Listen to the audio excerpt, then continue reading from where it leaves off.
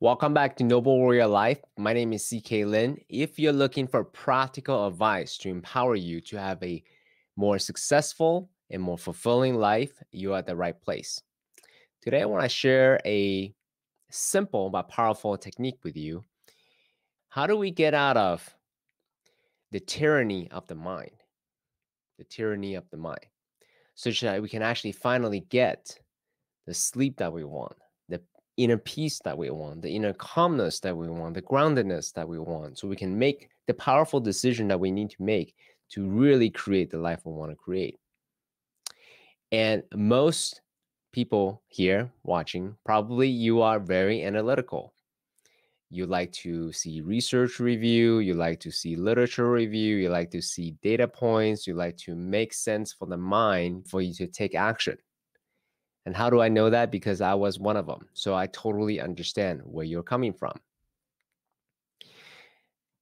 But trying to use the mind to get out of the trap of the mind is very much like the Chinese finger trap. The more you try to pull out of the Chinese finger trap, the more trapped you are.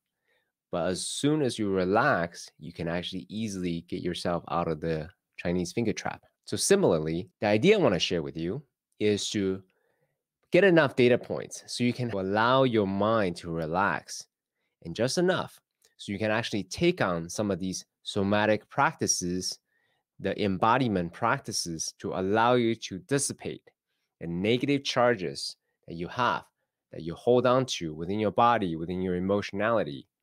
So then you can actually finally just let go, right? You don't have to figure out the source of all your stresses before you let them go. You can let them go first. Once your whole mind and body is relaxed, then you can go back to analyze and trying to understand what the source of the stress is. So, again, let me repeat this idea. Your mind likes data.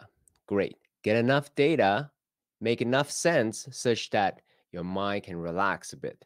And once you are relaxed a bit, then take on some of these somatic embodiment practices to allow you to dissipate the negative charges that you have hold on to within your body with your emotionality and once that's let go you have more inner resources then you can go back to analyze the root cause of all this it will be much easier okay?